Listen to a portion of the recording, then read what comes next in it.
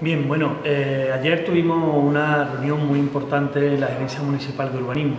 con el ánimo de eh, hacer cada vez más participativa y más transparente la gestión pública, hemos creado varias mesas de trabajo. Una de ellas es la mesa de veladores donde están presentes eh, los colectivos empresariales, Ostecor y Córdoba PTS, donde está presente eh, el pequeño y mediano comercio, la Federación de Comercio, donde están presentes la Federación de Vecinos al Sahara, que es la que representa a todos los vecinos y vecinas de Córdoba, y donde está presente el colectivo Apata, que es el que, vamos, digamos, en esta ciudad, el más representativo que defiende al peatón y al usuario eh, de, la vía, de la vía pública. también, como no, bueno, pues todo esto lo coordina la Gerencia Municipal Municipal de Urbanismo. Lo que se trata es de actuar en la zona donde hay problemas con respecto a los veladores.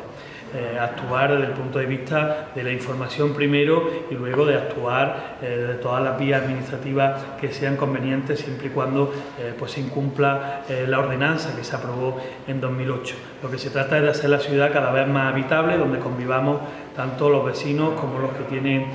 un negocio que se dedique a la, a la hostelería y ese es el trabajo que hemos empezado en este momento.